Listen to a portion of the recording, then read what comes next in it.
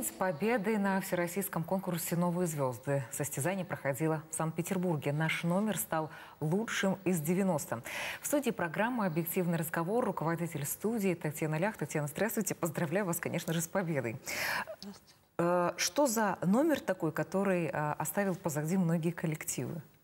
Но этот номер мы выстрадали. Номер этот уже в четвертом варианте вышел. Вот, и теперь это уже окончательный вариант, потому что сложилось все.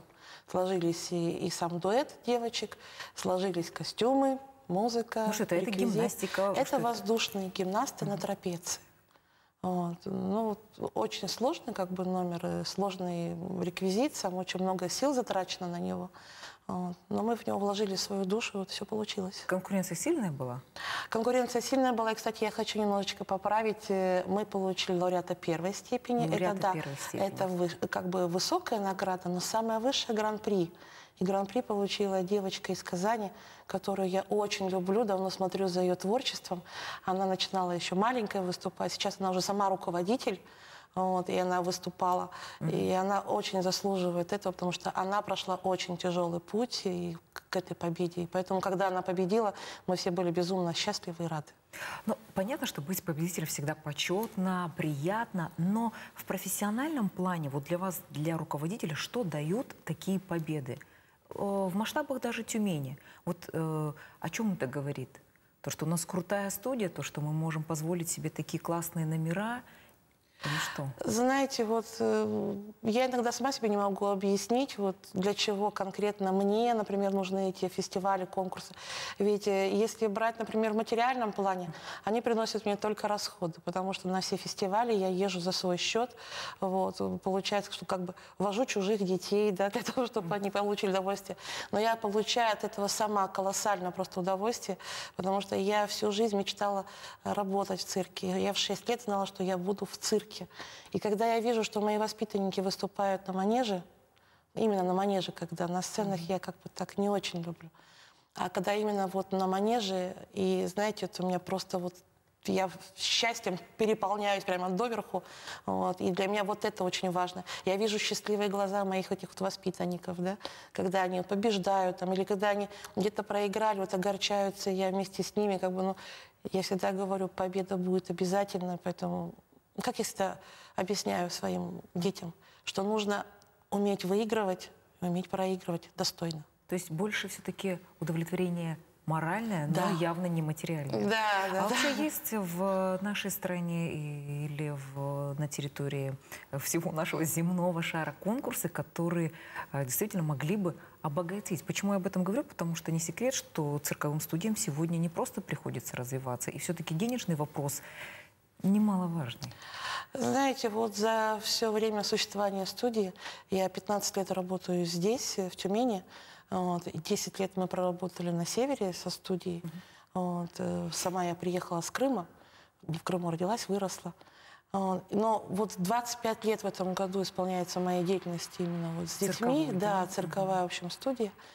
И вот за 25 лет мы были на фестивалях, ну, раза три, не больше, где давали денежную премию давали денежную премию, в общем, вот, ну, буквально, я говорю, два-три раза, вот, и даже так как бы вспоминаю, вот, последняя была в Самаре, Э, и все.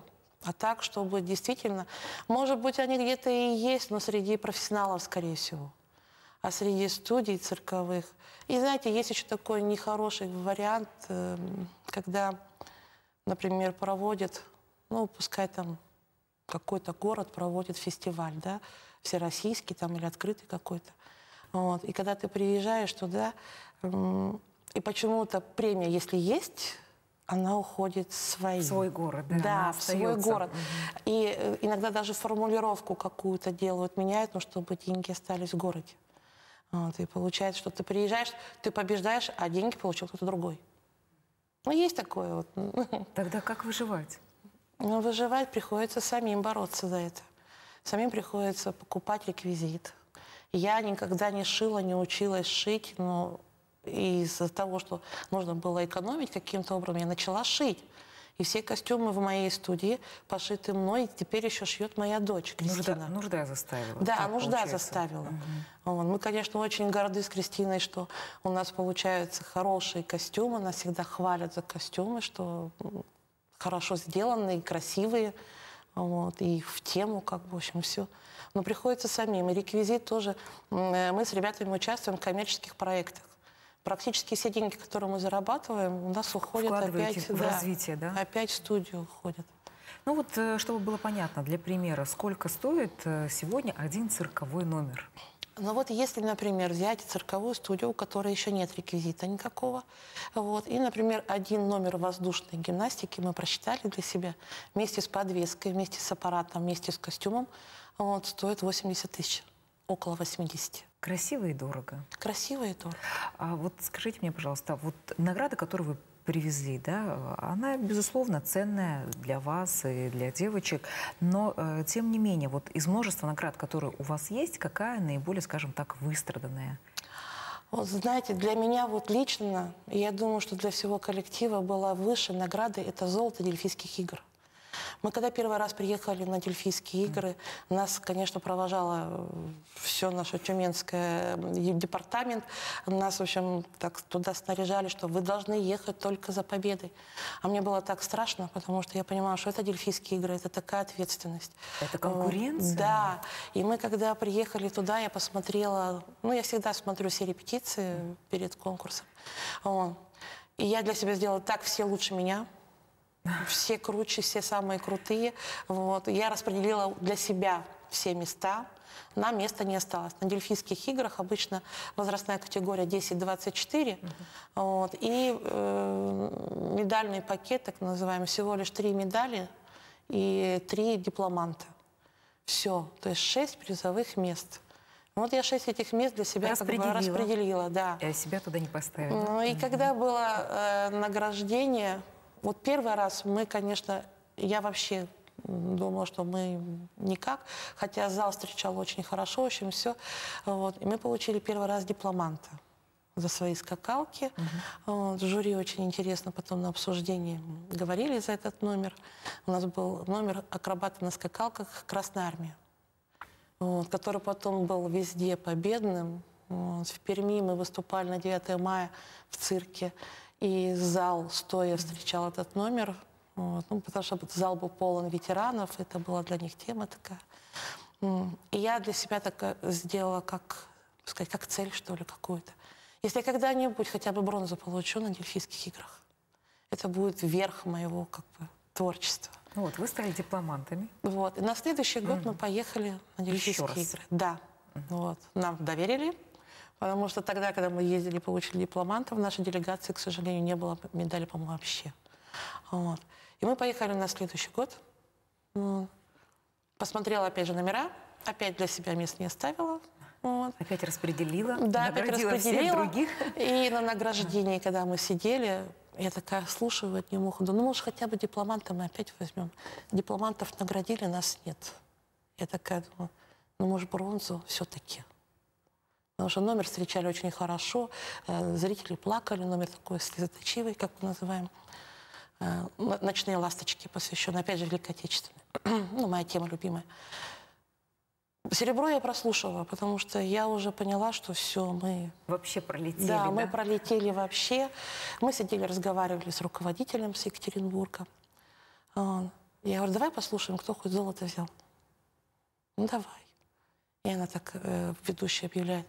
Золото Дельфийских игр 2014 года получает цирк-студия «Икар», «Ночные ласточки». Город Тюмень. Вау, да, город Тюмень. Девчонки были на манеже, они заплакали, потому что для них это была тоже такая победа. Они впервые именно вот на Дельфийских играх, вот эта пара, вот Женя Вичкитова и Вика Высоцкая, они прочувствовали то, что они играют, потому что «Ночные ласточки» — это э, юные летчицы, которые во время войны вот летали на своих этих деревянных этажерках, вот, и они поняли, что они играют. Они на манеже плакали, когда выступали. И ползала плакала просто. М, И, ну, то есть все свершилось, все получилось. И самое интересное, что у нас было так, ну, цирковые очень суеверные. У цирковых 13 число счастливое. Вот, потому что манеж 13 метров. И когда мы ехали в Волгоград, это в Волгограде было, у нас совпало 5-13. У нас был 13 вагон, мы жили на 13 этаже. Мы пришли в цирк, нам дали гримерку 13 вот. Номер у девчонок в гостинице заканчивался на 13. И когда я пошла тянуть жребий, я пошла одна, я вытянула, и я выхожу, девочки, какой? Я говорю, не поверите. Они, да ладно. Я говорю, серьезно? Они, 13? Я говорю, да, 13. Так вот, циркачи суеверные люди. Да, да, да, очень. В каком возрасте лучше всего приходить в цирк? А, и кому вообще дороги в цирк нет? Вот вы для себя такую категорию вычленяете? Детей, взрослых? Есть, есть такие. Вот э, дороги нет в цирк, это слабохарактерным людям. Но характер воспитывается. А, потому что все равно у нас в цирке все идет через боль, все идет через труд такой, что маленький ребенок, он уже должен, там, на второй год уже должен понимать, что он иногда должен сам позаниматься, где-то самостоятельно что-то поделать. Вот, и терпеть, терпеть, терпеть, потому что каждый снаряд, он дается с такими синяками, с такими ссадинами. Вот, э, это очень тяжело. В каком возрасте лучше приводить? Ну, вот у нас самые маленькие, которые приходят, это 4-5 лет. Вот. Но мы берем и старше, у нас бывает приходят и в 12, и в 14 лет. Иногда и взрослые люди пытаются там что-то там сотворить. Получается? Получается. Кого сейчас не хватает в вашем цирке? Кого вы ждете? Каких детей? Есть такое? Есть такое. Я очень хотела бы близнецов в нашу группу. То есть это вот информация для родителей да. сейчас. да, Если да. у вас, друзья, есть близнецы, да, и я бы очень хотела в своей студии близнецов, потому что я работала с близнецами. Мне очень повезло, я работала в училище водного транспорта в колледже, да, вот, и там было три пары близнецов. Мы с ними такие вещи творили. Вот. И мне это так нравилось. Но у меня в студии нет ни одной пары. У нас занимается порядка где-то около 70 человек.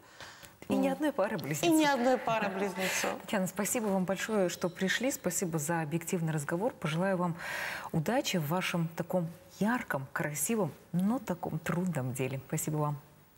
Это была программа «Объективный разговор». Напомню, в нашей студии была руководитель цирковой студии «Икар» Татьяна Лях. На сегодня все. Всего доброго.